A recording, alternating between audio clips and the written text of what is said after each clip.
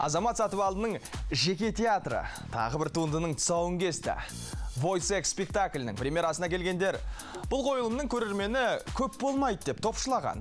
Алайда азулы актердің оларға айтар жауабы дайын. Сатыбалдың жетекшілігіндегі ұжым бұл жолы неміс драматургы Бюхнердің Войцек пьесасын қазақ тіліне тәржімалап алғаш рет алматылық көрерменге ұсынды. Қойылым желісінен бүгінгі замандағы адамдардың ішкі пиғылын айнаға тесіз көре аласыз дейді актер. Егер қалыпты шешіп тастайтын болсақ, ішімізде біздің сол анайылық, сол зинақорлық, сол жамандық бәрі сол тұр. Соны көрерменге көрсетуге тырыстық.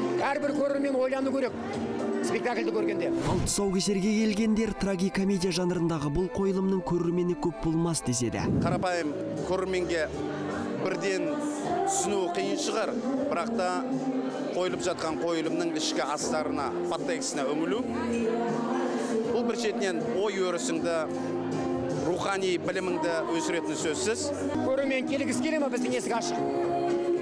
Театр көрерменнің жетегінде кетпеу керек.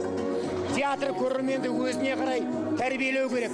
Өзінің жетегінде ұстау керек. Сонда ғана театр өседі. Алғашқы көрермендер қатарында Досхан Жолжақсынов та бар. Әйгілі актер Войцектің болашағын әлемдік додалармен байланыстырып отыр. бұл спектакль негізі кез келген театр фестивалінің спектаклі еркін барып жалауы құламай қайтатын спектакльдердің бірі осы қуантады біздің қазақстанның да актерлардың деңгейін режиссерлардың өресін білдіргіміз келді.